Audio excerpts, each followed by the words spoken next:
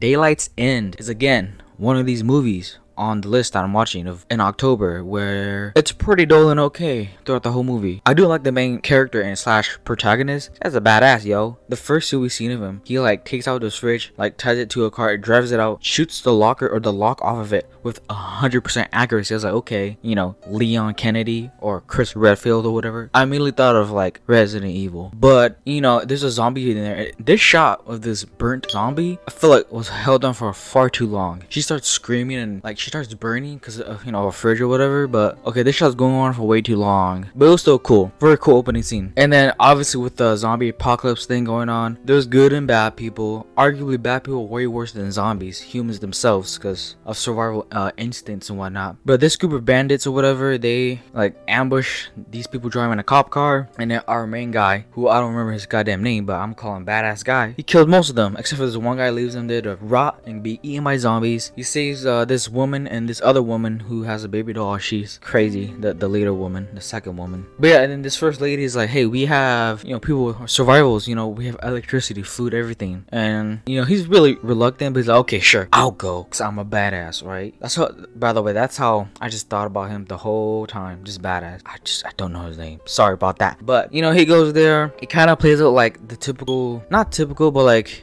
in I feel like in every uh, or, most zombie movies, this is one scene where one of the members are bitten, they have to like kill themselves or sacrifice themselves. Same here with this movie. There's like a this father got bit on his forearm, and you know he doesn't want to turn, so he asks one of the many people in this like place that they're at. I forgot even the place to shoot him.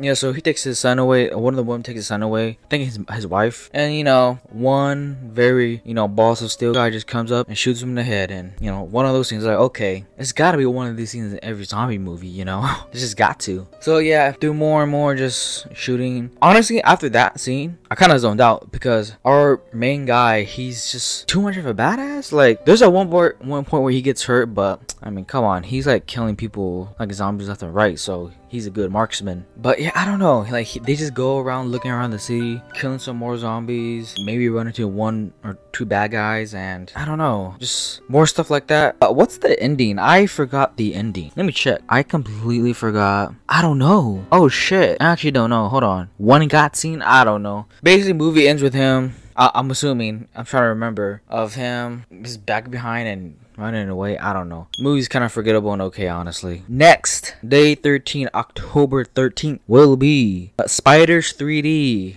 Really looking forward to this one. Hoping that it's a fun and bad, I repeat, bad movie.